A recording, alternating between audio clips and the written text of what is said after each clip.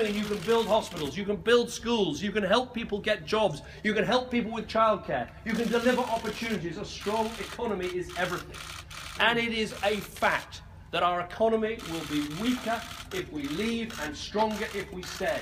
What that means is that on that ballot paper is British jobs, British families, the finances of people in our country, the strength of our country, and that is why we must vote Remain tomorrow in large numbers on Thursday.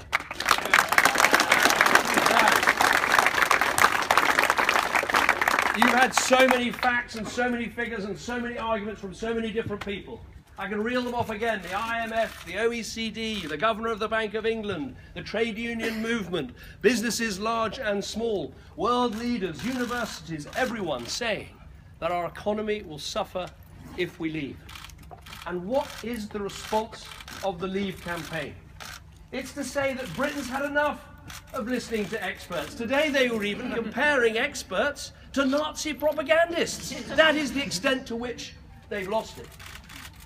But be honest with yourselves. If a car mechanic told you this car is unsafe, the, the, the brakes don't work, the fuel gauge is leaking, the steering is wonky, would you put your family in that car and drive down a motorway, drive over a bridge? Of course you wouldn't. Do you buy a house without listening to an expert?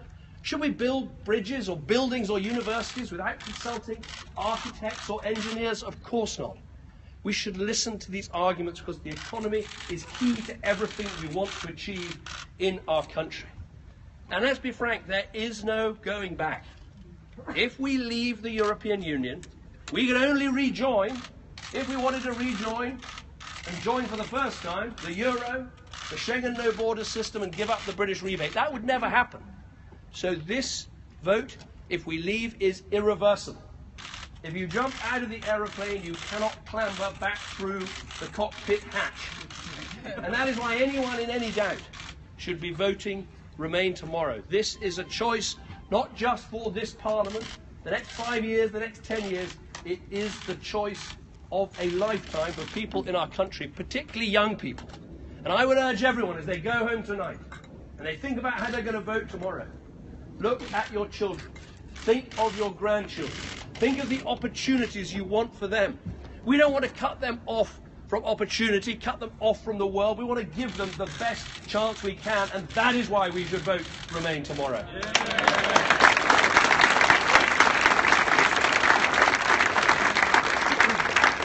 These, I think, are simple and straightforward arguments.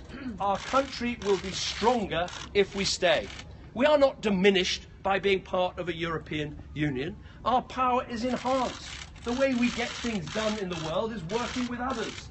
Whether we're trying to tackle climate change, whether we're fighting terrorism, whether we're standing up to Putin, whether we're dealing uh, with Daesh to our southeast, all of these things, we are stronger together. The idea that you take back control by leaving is an illusion. They would still be meeting. The European Union wouldn't stop existing. The French and the Germans and the Italians would still be sitting there making decisions about our lives and our continent. They'd be setting the rules. They'd be deciding the strategy, making decisions about our future, but without us in the room. That is not taking control, that is losing control. That is diminishing the country, and it's not the path that we should take.